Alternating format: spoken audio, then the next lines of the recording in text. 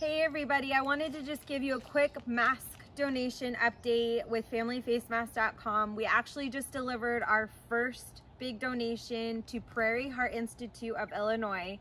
And I wanted to show you quickly how they're planning on using our masks. So these are our masks.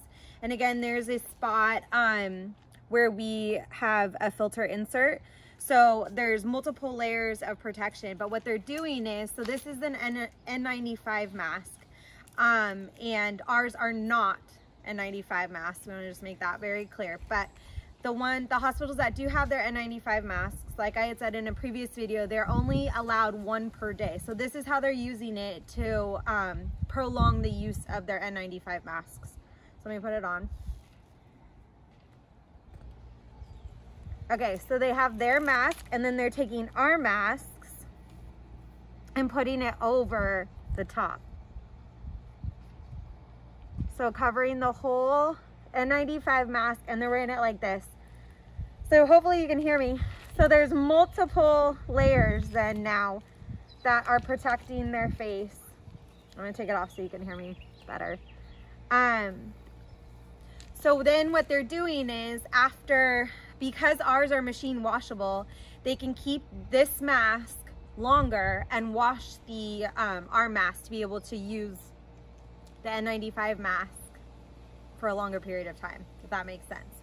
So that was just really cool information that we got from, um, you know, the hospitals that were donating and how they're going to be using it, how the nurses and doctors are going to be using it. Um, I mean, really anybody who has access to N95 masks can use our masks this way.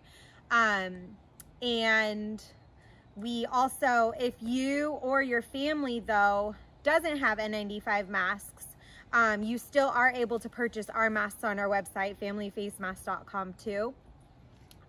Also, one last back, or point, um, we on our page have been updating daily our uh, site of all of the nominations that we've gotten. So all of the hospitals, all the locations that are in need of masks We've been updating those daily and putting how many um, masks and filters each one has gotten.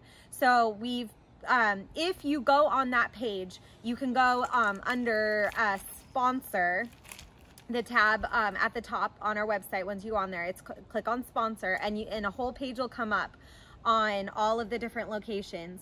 If you do not see your location, a location that may benefit from getting masks um, donated to them. Please reach out to us and nominate them. Um, send us the name of the location and the address, which would be super helpful, and we'll get that put up as soon as possible. Um, yeah, we are, will be continually, continuing to ship out orders um, this week, all the donation orders. Um, we're gonna try and get those out as soon as possible. Um, and again, if you or your family, if you want these specifically too, you can um, purchase them on our site as well. Um, and then last, last thing, they are two different. The masks do not come with the filter. So make sure if you want the mask and the filter, you're making sure that you put both of those in your cart to purchase. Anyways, we will continue to keep you updated on the donations as the hospitals um, get them uh, please, if you can sponsor someone, um, you know, and, and help them, that would be amazing. Um, thank you so much for all of your support, um, your love, your encouragement. Um, I know this means a lot to all of the, the places getting these. We love you. Thank you so much.